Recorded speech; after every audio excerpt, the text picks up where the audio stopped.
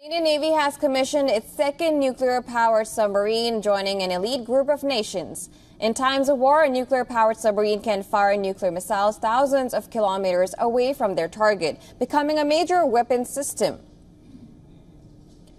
With a commi-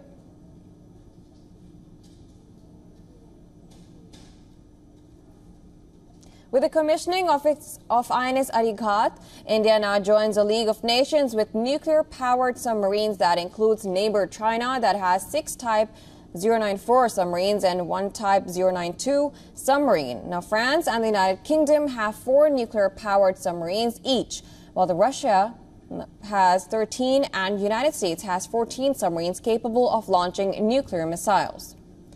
In a game changer for the Indian Navy, India's indigenous Arighat is the second submarine of the Arihant class indigenous nuclear submarines. It is aimed at supporting the existing INS Arihant that was inducted in 2009.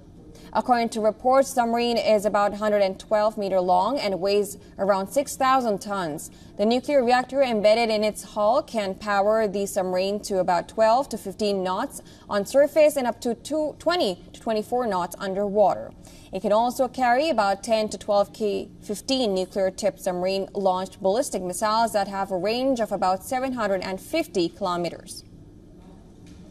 India's Defense Minister Rajnath Singh, head of Indian Strategic Command, Vice Admiral Suraj Berry, Chief of Naval Staff Admiral Dinesh Tripathi, and leading DRDO officials were present for the commissioning of INS Arighat at the naval dockyard in Vishakhapatnam in the state of Andhra Pradesh.